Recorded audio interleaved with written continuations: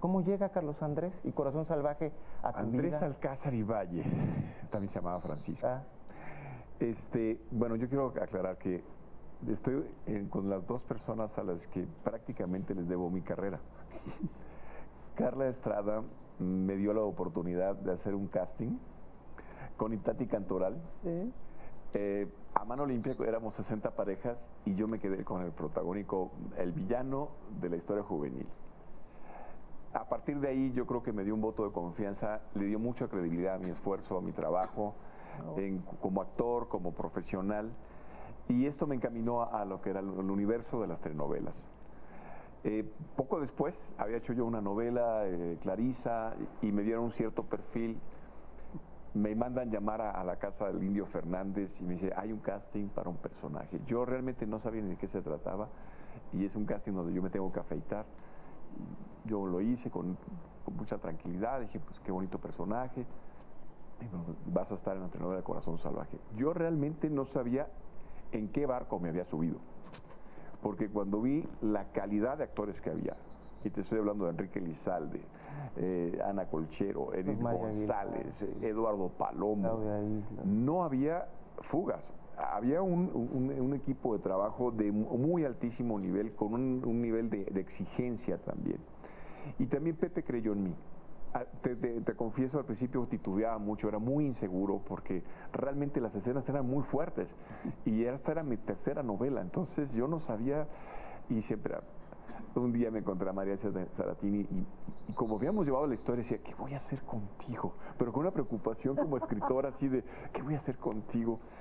Y creo que la fórmula de hacer una buena novela es cuando te enamoras de la novela y cuando todos y cada uno de los que participamos ponemos el corazón. Entonces resulta hasta muy divertido. Y Corazón Salvaje nos exigió mucho, al igual que, que- de Frente al Sol, llevar un poquito más allá, ¿no? Las escenas siempre eran un poquito más allá de lo que habíamos pensado o imaginado.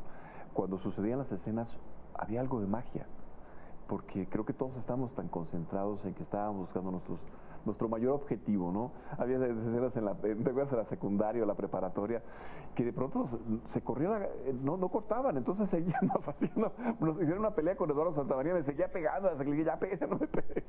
Y, y con Eduardo las escenas, eh, de- un día estaba grabando Eduardo su disco, y te acuerdas que era la escena del temblor, y me pasé como ocho horas debajo de los escombros, ¿no? Ay, no. Entonces ya regresaba Eduardo y decía, ya regreso, hermano, no te preocupes, ahorita regreso, voy a grabar y ahorita regreso. esa, esa complicidad, esa familia, pues es la que se extraña, ¿no? Y en el caso, también algo que se, cuando se logra bien el género, y se crean los duelos de actuación.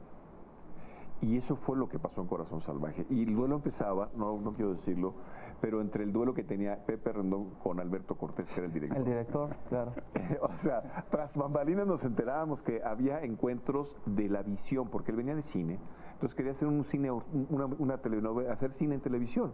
Eso era muy ortodoxo. Entonces el Pepe le decía, no, no, es que la televisión se hace así. Entonces había unos diálogos, y yo creo que eso se transportó mucho también en que cada escena eran duelos. A mí me decían, vas a, te toca la escena con Edith, y ya sabía que Edith ya había estudiado. Entonces, el que no llegaba estudiado, realmente se veía en pantalla. Entonces, ahí intervenía o Pepe, o intervenía el, eh, el director Alberto y decía, ¿qué está pasando? O sea, concéntrate.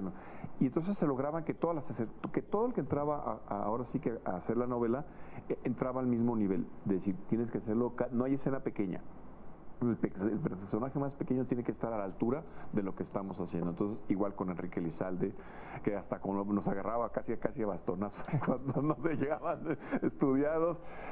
Lo disfrutas, pero en esa misma parte de disfrutarlo, descubres lo difícil que es tu trabajo como actor. Eh, es fácil aparecer en pantalla. Crear un personaje es muy difícil y, encontrar que el personaje empieza a crecer, empieza a cobrar vida propia.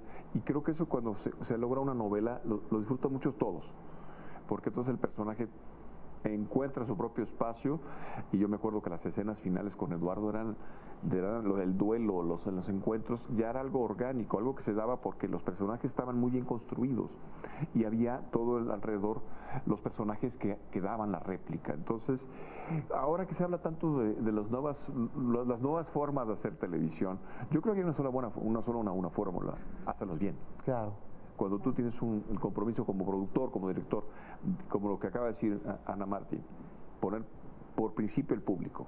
A ver qué, qué corsé ganaba en la escena, ¿no? Aparte de la escena tenía que saber qué se ponía el corsé más bonito y eso también lució mucho. Que ahorita estás tocando un tema eh, muy interesante, que lo que